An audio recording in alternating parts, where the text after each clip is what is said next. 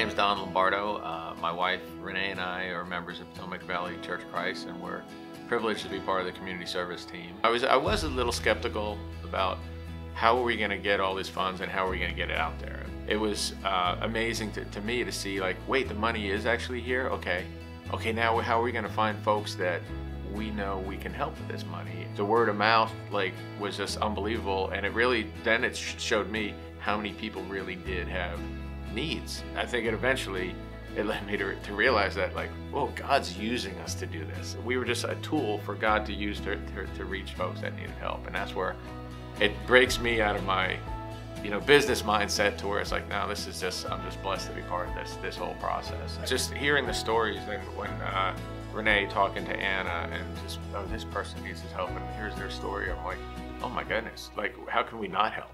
You know, we gotta get, we gotta get, and then hearing more and more of the stories, yeah, it was definitely impacting to again realize how big the need is that's out there.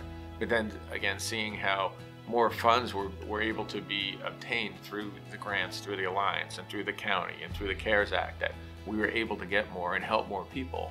Getting the, the structure in place, it took a little bit of work, you know, just kind of just thinking through how we'll manage things. Um, but I feel like that part I could, you know, I could I could really dive right into and stuff. But then when all the, the, the, requests started coming in and the funding case started coming in, it was really difficult to keep up with it. I just there was no way I was going to be able to, and we had a, a, small group of folks that we were trying to manage it. So I was grateful for you know for you know you Logan and Cynthia and Sade to be able to just come on and focus on it on a more full time basis.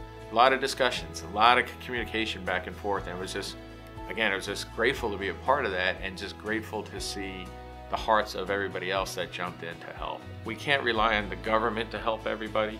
You can't rely on infrastructure to be there to help everybody. It's, it's got to get down to people helping people. And that's what, to me, I'm just glad to be part of community service because it, the community service team, because it keeps that um, in my mindset. It's like, I've got to be helping people. It's what God called us to do.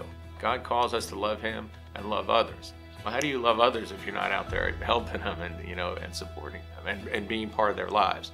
And that to me, that's that's been the, the, the greatest blessing. And, and, some of this is the, the, the opportunity to to, um, to build relationships with folks. So you go out there, you start helping somebody. It just it becomes more than just giving them something. It becomes, hey, I'm going to give you a part of my life, and you're going to give me a part of your life, and we have a relationship now.